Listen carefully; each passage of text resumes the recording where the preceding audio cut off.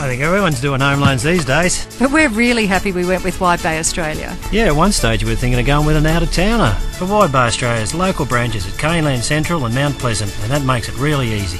They're great. They helped us with our everyday banking, credit cards, even insurance on our new home. Do you know what's best? There's always someone to listen if we need any help. Now a lot of our friends are banking with Wide Bay Australia. And some of them don't even have home loans. Easy.